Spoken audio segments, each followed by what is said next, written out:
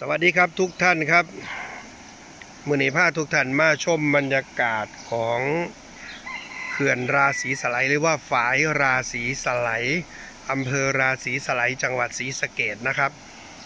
ฝายราศีสไลก็มีประตูระบายน้ำด้วยกันทั้งหมด 7 บานนะครับ นี่แหละครับคือประตูระบายน้ำ7บาน วันนี้เปิดประตูระบายน้ำแค่ 1 บานนะครับ ที่คุณผู้ชมเห็นอยู่ตรงนั้นนะครับนี่ หนึ่งบานนะครับ เปิดอยู่ตรงนี้นี่ครับ ตรงนี้ก็มีชาวบ้านหาปลากันนะครับนี่นะครับ นี่เป็นบรรยากาศของท้ายเขื่อนราศีสไลนะครับ ก็คือแม่น้ำมูลนะครับ เขื่อนราศีสไลก็สร้างกั้นแม่น้ำมูลไว้นั่นเองนะครับ วันนี้ไม่เห็นมีคนมาหาปลานะครับ ก็มีอยู่ส่วนมะส่วนใหญ่นะครับ ถ้าฝนตกแบบนี้จะเยอะนะครับ แต่วันนี้เห็นมีอยู่เจ้าเดียวนะครับ ตรงนี้ ไม่ไม่เยอะนะครับ วันนี้ปกติจะเยอะมากๆนะครับ วันนี้ไม่เยอะนะครับ วันนี้ นี่ครับ มีหาอยู่เจ้าเดียว เดี๋ยวผมจะพาทุกท่านไปดูฝั่งทางด้านโน้นนะครับ ฝั่งอีกฝั่งหนึ่งเนื้อเขื่อนราศีสไลด์นะครับ เดี๋ยวไปดูทางทางด้านโน้นกันครับ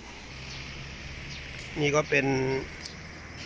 ทางรถวิ่งบนสันเขื่อนนะครับ บนสันเขื่อนของเขื่อนราศีสไลด์นะครับ เดี๋ยวพาทุกท่านเดินมาดูทางด้านนี้ ทางด้านโน้นก็เป็นร้านขายปลานะครับ ร้านขายปลาสดๆนะครับนี่ครับเขื่อนราศีสไลด์ยินดีต้อนรับนะครับ เดี๋ยวเรามาดูทางด้านนี้กันนะครับ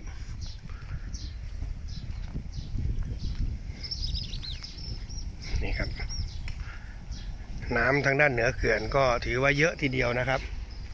นี่ครับนะครับก็เป็นเหนือเขื่อนนะครับเหนือเขื่อนราศีสไลด์นะครับคุณผู้ชมครับอะเดี๋ยวจะพาเดินกลับไปทางด้านโน้น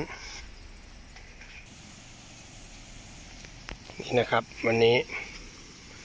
ก็ปิดประตูระบายน้ำไว้นะครับหกบานนะครับ เปิดแค่บานเดียวคือบานที่เจ็ดนะครับ นี่ครับมีคนมาหาปลานะครับชาวบ้านเขาก็มาหาปลา นี่ก็เป็นบริเวณของแม่น้ำมูลนะครับเอาเก็บบรรยากาศทุกท่านดูแค่นี้นะครับ วันนี้ครับขอบคุณครับสวัสดีครับ